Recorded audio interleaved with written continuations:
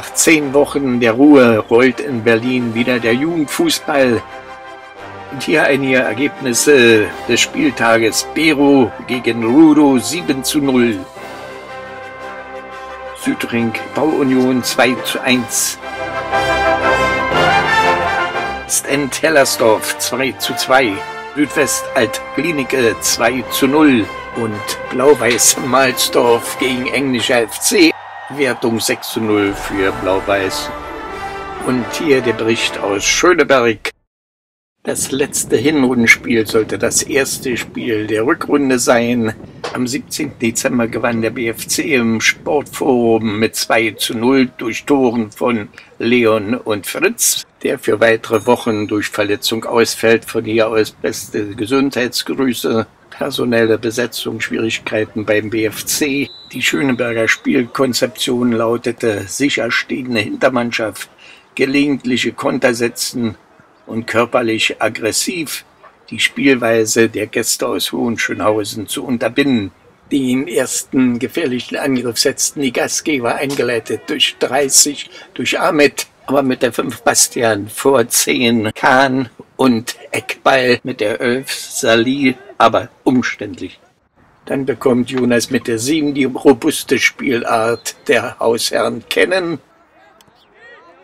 Eben noch am Boden, jetzt mit herrlicher Technik, lässt der Salier ins Leere laufen und ein schöner Pass da wieder ein Foul. Marvin wird den Freistoß treten. Die Zuordnung der Schöneberger stimmt. Der Freistoß verfängt sich in der Mauer. Der Nachschuss kein Problem für den Torsteher, da der Ball über das Tor geht. Klein wenig weiter nach rechts der nächste Freistoß. Wieder getreten von Marvin. Der Ball nicht eindeutig geklärt, kommt auf Alessio und der zieht ab. Und knapp am Tor vorbei. Dann ein spannender Zweikampf zwischen Onur mit der 6 und Marvin kann aber geklärt werden durch Einwurf. Achte Minute. Und diese weiten Einwürfe von Marvin haben es immer in sich. 1 zu 0 für den Gast und die Konzeption vom Trainer Jan Pfannschmidt ist über den Haufen geworfen. Hier nochmal der weite Einwurf von Marvin und mit der Fußspitze Sippern dran. Da war der Keeper überrascht und machtlos. Trotz des 0-1 Rückstandes beginnt eine kurze Phase des leichten Übergewichts der Hausherren. Zwei Ecken in Folge und ein Gastgeschenk der BFCer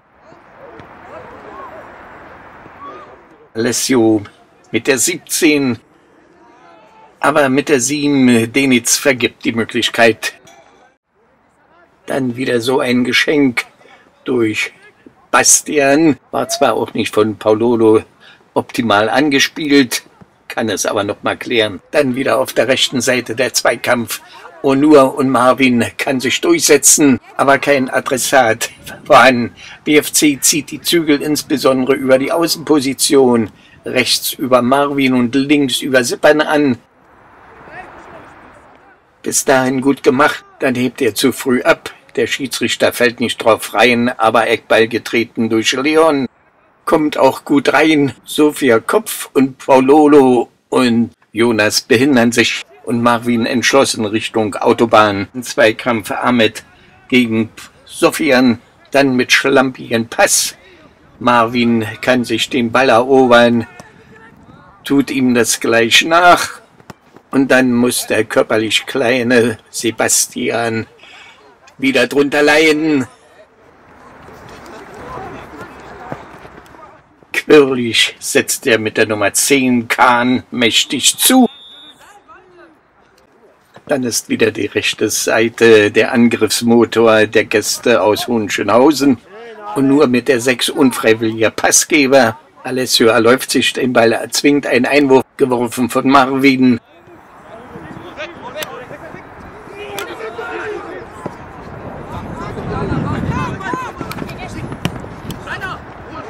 Schade, vorbei.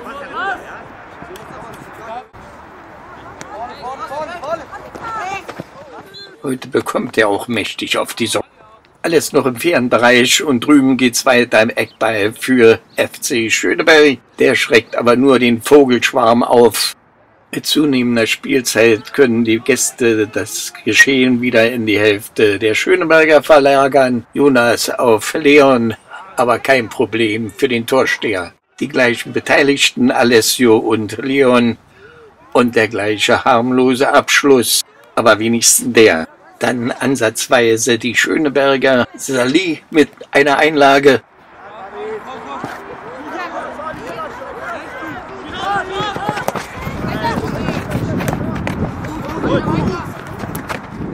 Dann wird auch die linke Seite mit eingebunden.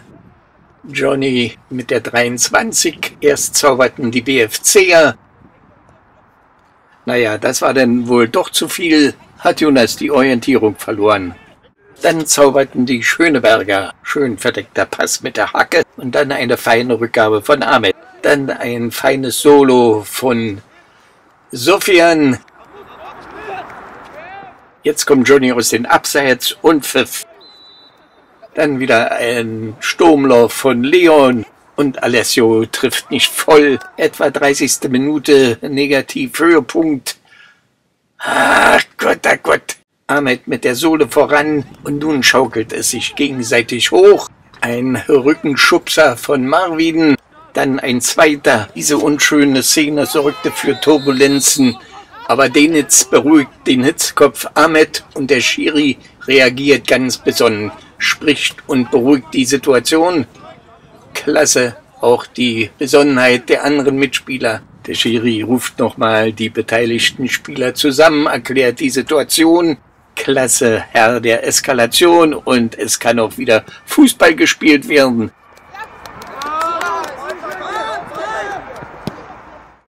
Nichts mehr von der Hektik der vergangenen Szene.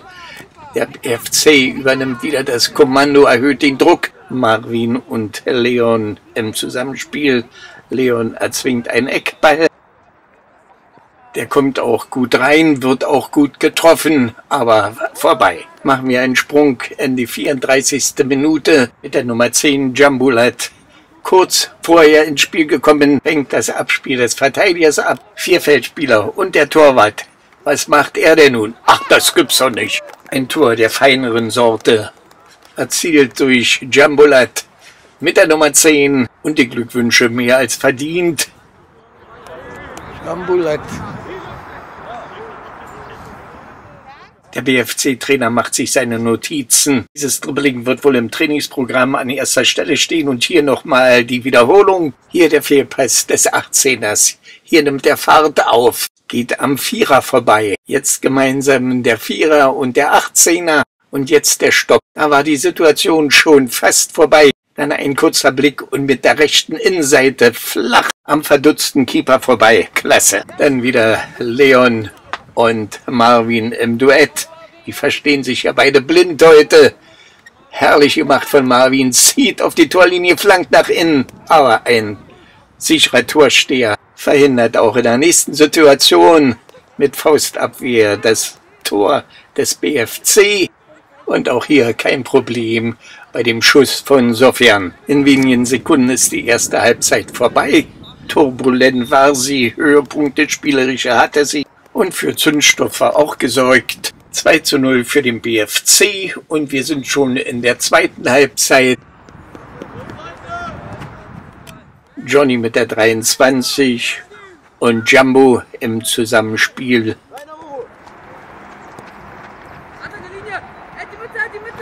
Hey, hey, hey. Unsanft gebremst, aber es war nicht mehr das Gift in der Situation wie vorhin in der Szene. Das ist auch gut so, denn auf der rechten Seite stoppt Sebastian den Angriff der Hausherren, bedient Marvin, der zieht unbeirrt auf die Torauslinie, flankt nach innen. Alessio, Marvin mit seinen berühmten Hochweitschüssen. Aber es muss sich behaupten, gegen Ahmed leitet in der nächsten Situation den ersten Angriff der zweiten Halbzeit ein. Sippern, Johnny und Jumbo mit einem Fernschuss. Aber kein Problem für den Keeper. Na Mann, da kann ich ja eine rochen. Die BFCer wissen, sie sind noch nicht durch. Das 2-0 muss nicht unbedingt reichen. Und schon läuft man sich auch fest.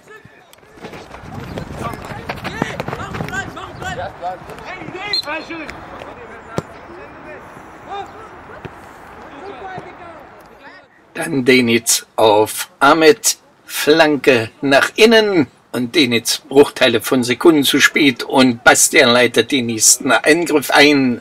Marvin Doppelpress mit Bastian, Jumbo, Basti, Marvin macht das Spiel schnell.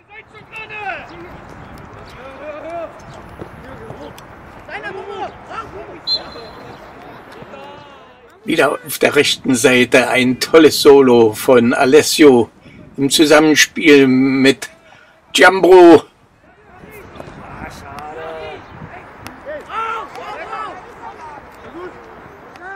Auf Johnny. Der müsste schießen. Nein, nicht gut zu Ende gespielt. Harmlose Schüsse. Wie hier durch Alessio. Oder in der nächsten Szene gut vorbereitet von Jumbo auf Leon, der den Ball sehr schön annimmt, eine schöne Bewegung nach rechts und abzieht, aber schade, schade auch in der nächsten Szene, denn da ist mehr draus zu machen. In den schwachen Torabschlüssen immer noch diese unnötigen Ballverluste hier durch Jumbo, der sich da festnagelt, statt seine Mitspieler zu sehen. Hier kann ja nur durch Foul gebremst werden, Freistoß. Sofian inzwischen die 65. Minute ein fast schon verloren gegangener Ball sollte zur Vorstufe des 3 zu 0 für den BFC sein. Und da ist das auch passiert. Jumbo am richtigen Ort zur richtigen Stelle. 3 zu 0 für den BFC. Und diese doch überraschenden Treffer in der Wiederholung. Balleroberung durch Ahmed zurück auf Mahmoud. Der legt sich den Ball zu weit vor und wie ein Aler stürmt der BFC-Außenstürmer dazwischen und liegt quer ab auf der gegenüberliegenden Seite Sippern zurück auf Sofian. Der kann sich nur mit Foul helfen. Schiri pfeift, nichts beschwert sich. Schickendt und die ganze Sache ist gegessen. Freistoß durch Kahn, aber es braucht nicht eingreifen. An dieser Stelle muss ich auch eingreifen. Hier sehen wir den Torschützen zum 4 zu 0 23 Johnny. Sein erzieltes Tor ist mir gekommen, aber ich muss sagen, es war aber auch ein sehr, sehr schönes Tor. Ich hoffe, es wird mir nicht nochmal passieren. Der letzte Eckball im Spiel wird getreten.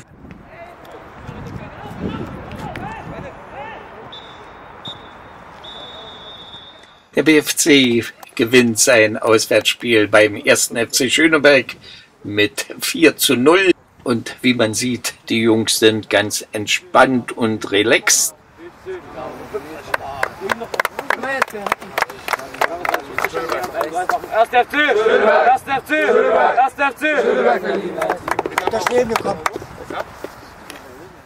Die Tabellenspitze, erster BFC 36, Südwest 34, Bero 31 Punkte und 4. März, Samstag BFC Rehberge.